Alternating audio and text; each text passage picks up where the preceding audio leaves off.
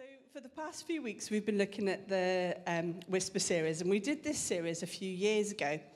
So, I thought I'd go back, maybe a mistake, and have a look at the preach that I did um, on Revive Church's YouTube channel.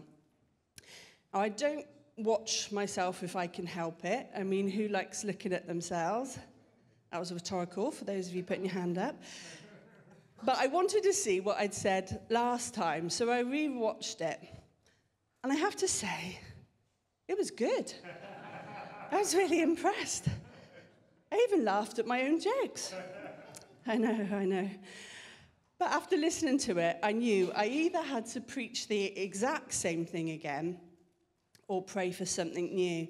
And as Howard felt when he spoke last week, it just didn't settle right with me repeating a preach. And although it would have been a lot easier for me to, then there are a few stories I'm repeating, I did seek the Lord in scriptures for a fresh word. So if you want to hear a great preach, go back to the YouTube me. and today you've got this one, which hopefully will be all right too. Should we just pray? Lord, we just thank you for the privilege of being able to share your word. And Lord, we just ask that anything of me will fall to the ground and anything of you will just penetrate hearts and minds, that you will say what you want to say to each individual here this morning. Let it settle within us. Let us hear your teaching for our lives.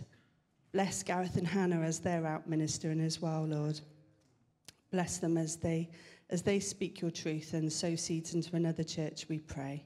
In Jesus' name, amen. So this morning, I felt led to look at why listen to the Lord's voice. We've placed emphasis on how, what, when, where to listen to it. But why would we be encouraging you to do this? Why do we feel it's important for you to be able to hear? Well, let's work our way through it as we look at the life of Samuel. 1 Samuel 3 got your Bibles, you can turn to it. So the boy Samuel ministered before the Lord under Eli. In those days, the word of the Lord was rare. There were not many visions. One night, Eli, whose eyes were becoming so weak that he could barely see, was lying down in his usual place. The lamp of God had not yet gone out, and Samuel was lying down in the house of the Lord where the ark of God was. Then the Lord called Samuel. Samuel answered, here I am. And he ran to Eli and said, Here I am. You called me? But Eli said, I did not call. Go back and lie down. So he went and lay down. Again, the Lord called Samuel, and Samuel got up and went to Eli and said, Here I am. You called me? My son Eli said, I did not call. Go back and lie down. Now Samuel did not yet know the Lord. The word of the Lord had not been revealed to him. A third time the Lord called Samuel, and Samuel got up and went to Eli and said, Here I am, you called me. Then Eli realized that the Lord was calling the boy. So Eli told Samuel, Go and lie down, and if he calls you, say, Speak, Lord, for your servant is listening. So Samuel went and lay down in his place. The Lord came and stood there, calling at other times, Samuel, Samuel. Then Samuel said, Speak, for your servant is listening. So, for some context, if you read 1 Samuel 1, you can read the account of Hannah, Samuel's mother, who was originally unable to have children, and her battle with prayer and faith, which eventually led to her becoming pregnant with Samuel. Those of you newer to the church won't know, but I have similarities with Hannah, not just a namesake. Matthew and I couldn't have a child, and there's a great testimony um, about that that you can listen back to again on the Revive YouTube from This Is My Story series, where you'll hear that actually some of these verses were instrumental in our own story. And the Lord undertook for us, as He did for Hannah, by blessing us with a child. And if you read on in chapter 1, you discover that once Hannah has weaned Samuel, eh, she then takes him to this temple and presents him to the priest Eli. Now, Samuel was to spend the rest of his life in service in the temple.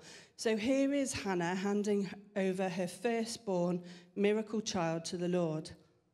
I'm not sure I could have gone through with that, although there are moments like the sleepless nights, the tantrum stage, the teenage stage, when I think, yeah, maybe I could have. But then they're away for one night, and I do miss them. Or two nights, maybe. So Samuel was a priest in the temple, but he also became a prophet to the nation, which we'll look at. And he also was the last judge. So before Israel had a king, it had a series of tribal leaders called judges. So after Moses led the Israelites out of Egypt, Joshua, as we heard last week, led them into the promised land. And when Joshua and his generation died, so did the Israelites' knowledge of God. They began worshipping other gods. And that's when the judges came in. But every time a judge died, Israel went astray again, returning to sinful practices and idolatry. And it was a constant cycle of sin and deliverance. So in the book of 1 Samuel 4, we read about Eli being a judge for 40 years, and then, of course, Samuel as judge. And when his sons failed to take on the role, the Israelite people asked him for a king. So hopefully that's given you a bit of a picture of the time in Jewish history when Samuel was alive and what he was dealing with. So, for the first point on why listen to God, the answer we're going to look at is for yourself and for your relationship with God.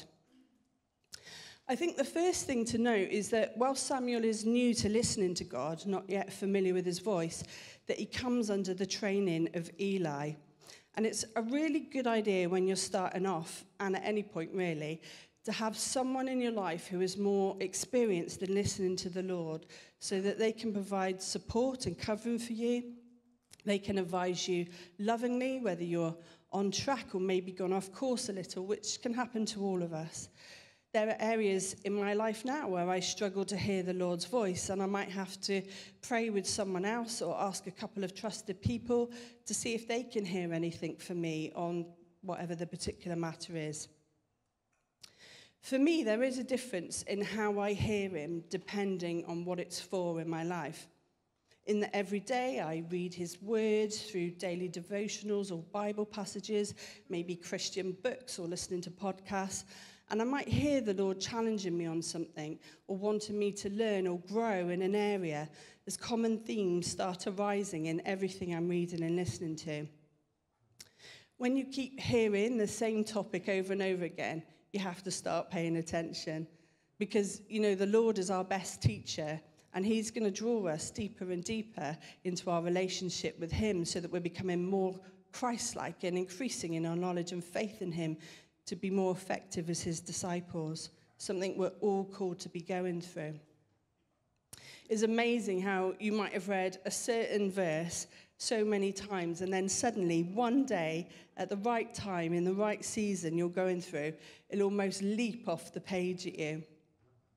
But I can only hear him speak through the word if I know the word, and that's on me to read it and learn it.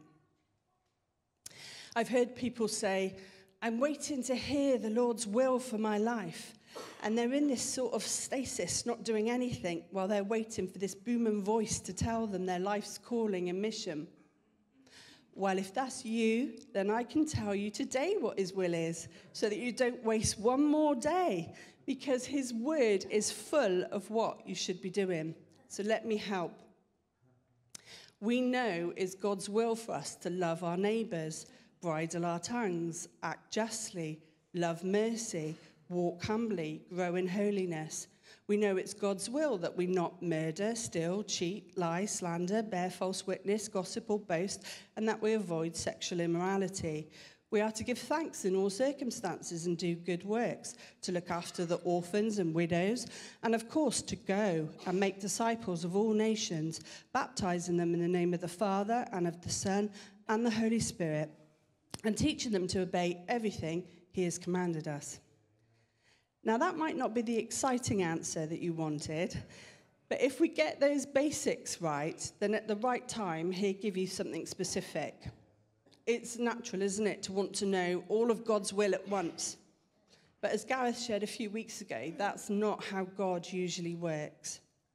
He reveals it to us a step at a time, each move a step of faith, and allows us to continue to trust Him the important thing is that as we wait for further direction, we are busy doing the good that we know we should be doing.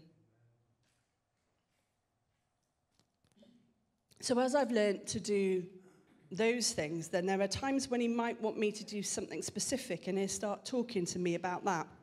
And it's like a strong thought that I can't get out of my mind, and I know it's not for me.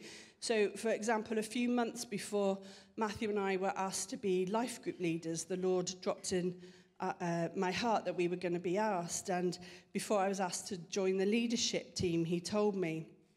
And this is usually that, so that I've got time to go through a process with him that he knows I need. Then by the time I'm actually asked in person by Hannah and Gareth, I'm not in total shock and running for the hills. Again, for me, that's not a spoken conversation where I hear his voice out loud, um, but normally I'll raise my doubts to him in prayer and he'll answer through his word or something I'm listening to. Then there are times when I've been praying and asking the Lord for something and he'll start to speak to me about it. I remember talking to a Christian a long time ago before this church when we put our house on the market and them asking me where were we thinking of moving to and I said, well, we're just trying to hear from the Lord on that. And they laughed and said, He's not going to talk to you about every little thing that's going on in your life. That was a major what moment for me. And I was totally confused that if one of the biggest investments you'll ever make financially in your life isn't a big decision, if where I'm going to raise my children, where I'm going to be building relationship with neighbors, if that isn't a big decision that I should ask the Lord about, then what on earth is? Making decisions about potential life partners, about potential employment options, about having children, about what to study and where. These are at least decisions we should be asking the Lord for and listening for the Lord's input on. I actually talk to the Lord about my day and ask Him to guide me and protect me and use me in all that I'm about to do. And that might seem over the top to some people, but I'd rather go about my business knowing that I've invited the Lord to be with me in it than see what it looks like without him in it. In fact, up to the age of 28, I did too much without asking him and listening. And I can tell you mess after mess that that resulted in because of that. A bit like the Israelites when they stopped listening to God's appointed judge.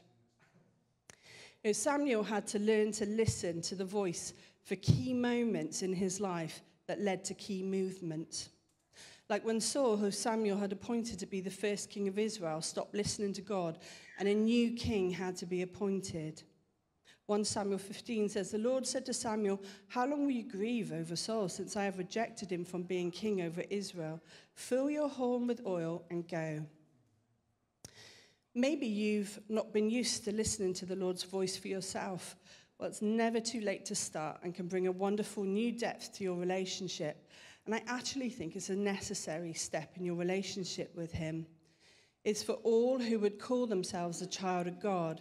So it's not just for the pastors or the leaders of the church or those in full time ministry, those with a theology degree or those that have been saved a certain number of years. It's for all. John 10 says, My sheep listen to my voice, I know them and they follow me. It also says, And his sheep follow him because they know his voice. That's for any of us in the fold. Jeremiah 33 Call to me, and I will answer you and tell you great and unsearchable things you do not know. The Holy Spirit living within us is key to knowing that voice. John 16 But when He, the Spirit of truth, comes, He will guide you into all truth. He will not speak on His own, He will speak only what He hears, and He will tell you what is yet to come. He knows who you'll marry if that's the right path for you. He knows your career choices.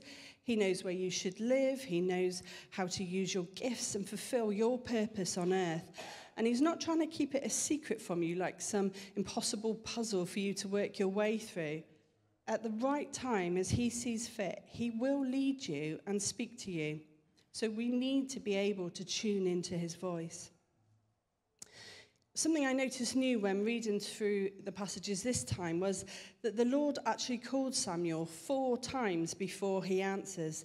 And it struck me how patient the Lord was, how he kept coming to Samuel, calling him by name, and waiting for him to tune into his voice. I believe he's the same today. He knows your name, he's patient with us, and he waits for us to hear him. What a loving Father we have. The key, though, is to make room for the Lord to speak to you, allow the silence.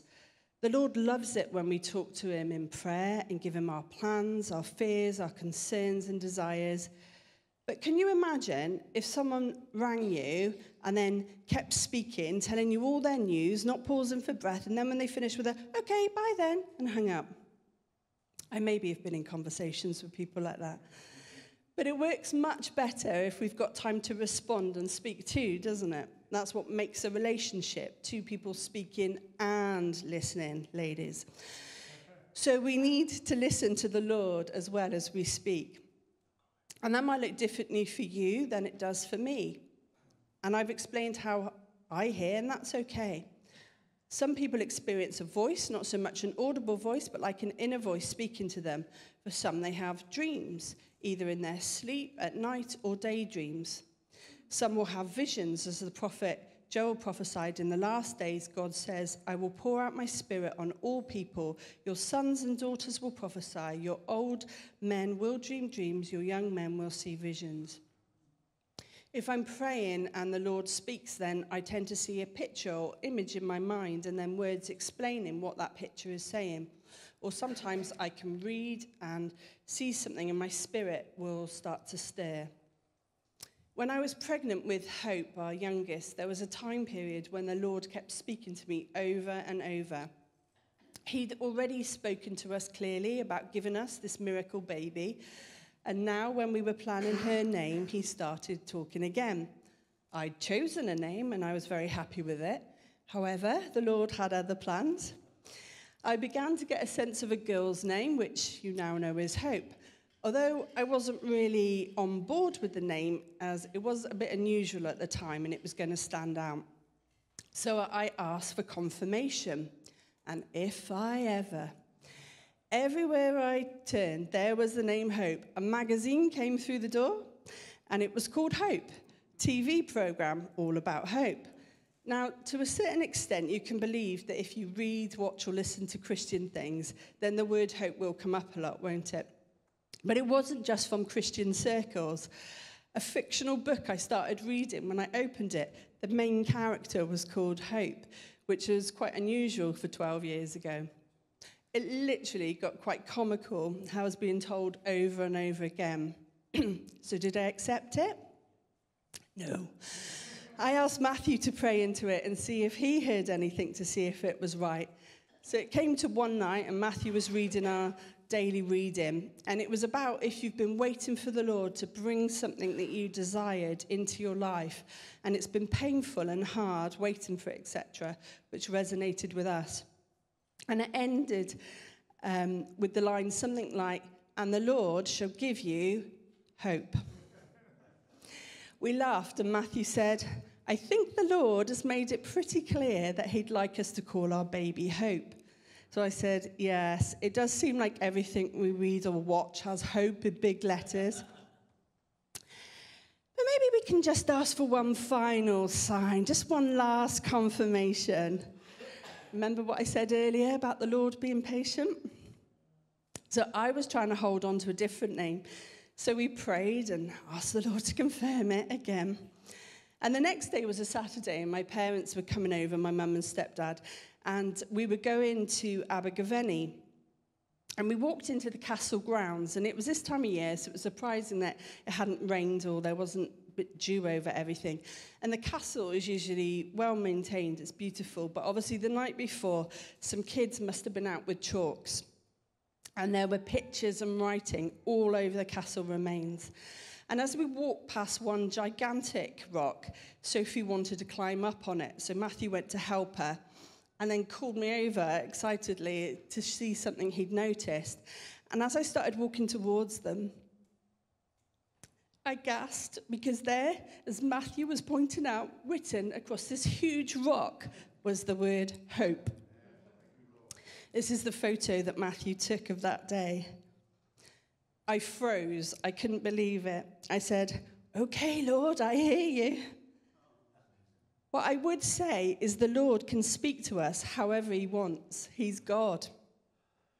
We know he's used a donkey, but do start listening before he uses a disembodied hand to write on your wall.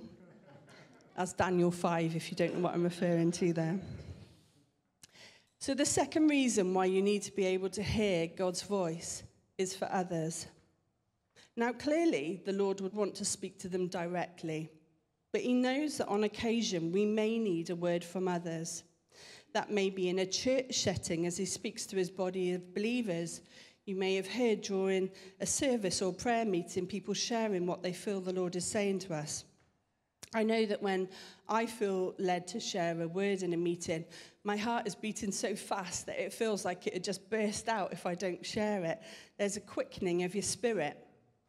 If you ever feel that, but you aren't quite sure, then you can always just ask a leader first who can confirm if it's right to share. Or maybe someone comes up to you directly and says, I feel the Lord is saying this. Or maybe you've asked God for confirmation of something and someone brings it to you. For all of those, we are taught by scriptures to what they say to call weigh the word. And Hannah gave us four great ways to know if it's from the Lord, which were God's voice is always consistent with his character, always consistent with scripture, consistent with love, and consistent with who you were made to be. Some of you might not be aware, but you're already doing it. I know there are times when I felt unconfident or self conscious, and one of you has come along at that moment and encouraged me right into that situation without being aware, probably. We might also be given a word to share with those not yet Christians, a term I love for those who don't know Jesus yet. When James Way shared with us about how the Lord told him to bring shoes for the homeless man a few people afterwards told me stories that they'd felt that they should buy um, something and give it to someone or make contact with someone saying something um, specific. And it's exactly what that person, person needed to hear in that moment. So I know that many of you have experiences of this already, which is great. The Lord will use us all, whether we've been saved 60 years, six years, or six weeks if we're willing and obedient.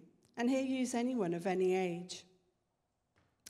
If we go back to the passage in 1 Samuel, we read on from where Samuel understood it was the Lord speaking.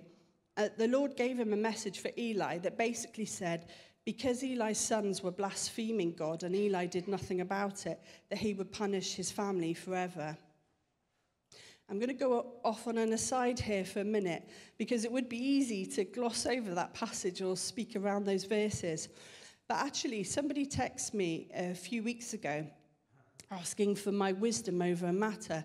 And ultimately, what they were saying was, Can God tell someone else to tell me that I'm not living my life correctly? So my answer was along the lines of this. Firstly, I don't think the Lord would tell someone else to tell you something that he hadn't tried telling you himself first, probably a few times. But if you're still not listening, he may well use someone else. You see, Eli knew and had been told before about his son's behavior in the previous chapter. I've known in my own life when I was living in a way that wasn't pleasing to the Lord. And it's likely, if you are, you already know about it. Secondly, if the Lord did tell someone else, it would typically be someone in spiritual authority over you and or someone who was journeying through life with you. Maybe someone you gave accountability to or someone that you trusted and knew loved you and was on your side and wanted the best for you. Thirdly that person would have to make sure that they were living their life right as we know the teaching about taking the plank out of your own eye before you look at the speck in someone else's. They'd need to tell you out of love, with grace, and hopefully been praying into it already and find the right moment to share it with you. It says in Proverbs, as iron sharpens iron, so as a friend sharpens a friend. Eli refers to Samuel as son, so we know they've got this close mentoring relationship. And he gives him permission, well, he orders him really, to share what the Lord has said. So my answer to that text was yes, but with the caveats that I've mentioned. And if it was me, I would ask their permission first too. Okay, so back to the main word. We believe that Samuel is about 11 years old when he first hears. And to be fair, I think if I'd have had that word for someone, I would have been afraid to tell them that too at any age. Is Samuel was but a child. And I mentioned this the last time I spoke, but I think it's important to highlight again. You know, we talk a lot about children being the future of the church. And I get that and I agree with that. However, I actually think they are part of the church now also and can play a part in spiritual aspects just as much as the next person. When our church we were part of locally closed down, uh, we were transferred to a church in Caerphilly, which we attended for a while. And the pastor, Roger, one Sunday morning um, called all the children forward prior to them going out to Sunday school. Now, Hope had just turned four years of age, so Roger scooped her up in his lap, and the other children sat on the stage around him. He asked the children what taking communion was about, and some children put their hand up, including Hope. I started to get a bit uneasy in my seat, because if you've ever spoken to Hope, you'll know our family history within any time at all. So, inevitably, Roger said, Yes, Hope. And she said, looking out to the crowd, God loves you very much. Roger said, Yes, he does. And just as Hope came up into my lap, Abba Father wants you to come near to him so he can take you in his arms. Roger said, I'm going to continue now, Hope. Is that okay? But she took the microphone back and said, You don't need to be scared. And went on to talk about darkness and how God will look after you. Now, although Hope had a vocabulary older than her years, I knew this wasn't her typical language in what she was saying. And I had a feeling that it was for someone else. Roger, thankfully, also picked up on that maybe the Lord was in this, and he elaborated on her word. After the service, as we went home, I had an impression in my mind that someone had come to the Lord through Hope's words. And when we got in, the telephone rang, and it was Roger. He said, I just wanted to let you know that today we had a lady in the service who would call herself a witch. She was into demonic worship. She'd been battling coming to church for weeks, feeling that she needed to come. She had come in and late and had sat in the back, and she was feeling very uncomfortable. And then Hope said, God loves you. It pierced her heart and she felt the Lord was talking straight to her. She recognized that it was a higher power than the one she had been in contact with. And then she started panicking, thinking that all the things that she had been involved in, would this God be mad at her? Would she be punished? She thought she ought to leave and was about to, but Hope then started talking about not being scared and that it'd be okay and so on. After the service, the lady had gone up to the pastor and told him this. And so there and then she gave her life to the Lord. A few weeks later, there was a baptismal service, and the lady asked Hope to be a towel holder for when she came out of the water. It was incredible to witness, incredible testimony to listen to. You know, maybe some of us need to be more childlike in our faith and confidence and obedience. The last reason I'm bringing this morning as to why you should listen to the Lord is for the nation. At the end of 1 Samuel chapter 3, it says, The Lord was with Samuel as he grew up, and he let none of Samuel's words fall to the ground. And all of Israel, from Dan to Bathsheba, recognized that Samuel was attested as a prophet as the, of the Lord. As the judge and prophet for the nation, he had to hear from the Lord to be able to direct the people and know how and where to lead them, as at times, literally, his life and the life of the Israelites depended on it. Now, I might have struggled with that personally, to be honest. My gifting is not to be a prophet to the nations, but we still do have prophets today who hear from the Lord and speak into the various nations. Amongst many instructions that the Lord gave Samuel for the nation, as I mentioned earlier, he told Samuel to go and anoint a new king after Saul had failed. Now, Samuel could have felt that he was wise enough by now to judge who would be the right fit for king. But as we're told in Scripture, God's thoughts are not our thoughts, his ways are not our ways.